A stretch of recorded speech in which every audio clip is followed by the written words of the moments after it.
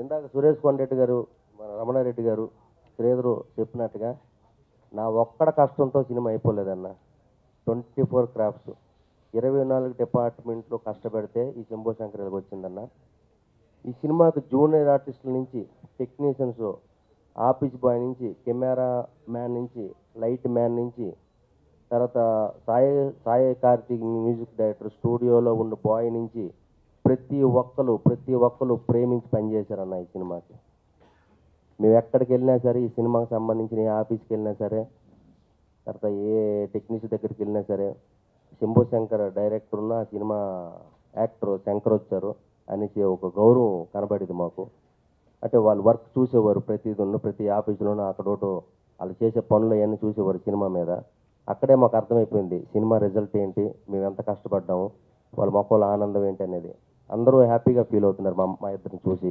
మంచి సినిమా చేసే వీళ్ళు బాగా కష్టపడ్డారు సినిమా హిట్ అయిపోద్ది అనే కాన్ఫిడెన్స్ మాకు ఫస్ట్ రోజు ఫస్ట్ సాంగ్ చేసామంటే ఆ ఫస్ట్ రోజు ఫస్ట్ క్షణం కెమెరా ముందుకు వెళ్ళాను. అక్కడే అందరి మొక్కల్లో నేను చూశానండి. అందరూ పాజిటివ్గా తీసుకున్నారండి. అందరూ హ్యాపీనెస్ కనబడ్డది అందరి మొక్కల్లో లొకేషన్లో ఆ రోజు ఐదు వందల మంది జూనియర్స్ ఉన్నారు. ఎవరు కూడా శంకర్ హీరో ఏంటి? ఏంటి ఏంటి మాకు కర్మ ఏంటి? మాకేటిది? అనే చిన్నది కూడా ఎవరి మొక్కల్లో కనబడలేదు నాకు. ఎందుకంటే ఒక ముప్పై రోజులు షూటింగ్ చేసాము. ముప్పై రోజులు ప్రతిరోజు రెండు వందల మంది మూడు వందల మంది జూనియర్స్ వచ్చేవారు. వాళ్ళు ప్రతిరోజు ఏదో ఒక దీనిగా నన్ను చూసేవారు తప్ప ఎక్కడ నన్ను తక్కువగా కానీ చిన్నగా కానీ ఎక్కడ నన్ను చూడలేదు వాళ్ళు. మరి వాళ్ళకి నేను ఎలా కనిపించానో మరి వాళ్ళకి నేను మరి అలాగా నన్ను ఎంకరేజ్ చేశారండి ఈ సినిమాకి. కష్టాన్ని నమ్ముకున్నాను కాబట్టి కష్టం ఒకటే తెలుసు కాబట్టి కష్టపడే గుణం కాబట్టి. ఇక అందుకనే సపోర్ట్ చేస్తున్నారనేది నాకు అర్థమైంది. మా ప్రొడ్యూసర్ గారు కానీ సురేష్ కౌండర్ గారు కానీ డైరెక్టర్ కానీ మ్యూజిక్ డైరెక్టర్ కానీ ఈ సినిమా సింగర్స్ కానీ అన్ని రంగస్థలం కానీ తర్వాత కాటమరాయుడు తర్వాత మహేష్ బాబు గారి సినిమాలు చాలా పెద్ద పెద్ద సినిమాలు పాడిన సింగర్స్ అందరూ పాడారు. మహానటిలో పాడిన సింగర్లు పాడారు ఇందులో. సాయికర్తి గారు ఎక్కడ కాంప్రమైజ్ అవ్వకుండా పెద్ద సింగర్లనే తీసుకొచ్చి పాడించారు. అంటే చిన్న సినిమాలాగా శంకర్ హీరో అని ఎవ్వరూ చేయలేదండి. ఓ పెద్ద హీరోకి ఎలా చేస్తారో పెద్ద సినిమాకి ఎలా చేస్తారో చిన్న బడ్జెట్ అయినా పెద్ద సినిమాలా చేసామండి మేము. అందుకనేసి ఆ కాన్ఫిడెన్స్ ఉంది కాబట్టి రేపు రిలీజ్ అవుతుంది. బ్రదర్స్ భయ్య మీరందరూ ఫాలో అవుతున్నారు వెయిటింగ్ చేస్తున్నారు రేపటి కోసం.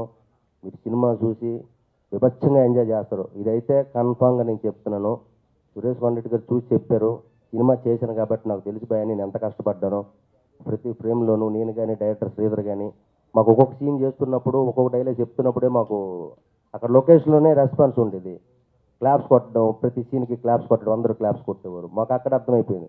ఏదో ఒక సీన్లో ఒక సినిమాలో ఒక రెండు మూడు సీన్లు క్లాప్స్ కొడితేనే సినిమా ఇట్టు ఇంతకుముందు చేసిన సినిమా లానా బ్రహ్మగా ఏదైనా ఈ సినిమాలో ఫస్ట్ నుంచి లాస్ట్ దాకా దగ్గర దగ్గర ఒక పది సీన్లు క్లాప్స్ కొడతారండి.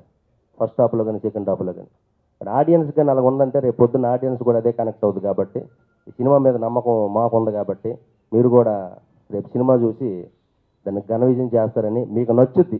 కన్ఫామ్ నచ్చుద్ది. నేను ఇంకో మాట చెప్తున్నాను బ్రదర్స్ మినిమం రెండు మూడు సార్లు ఈ సినిమా చూస్తారు భయ్య.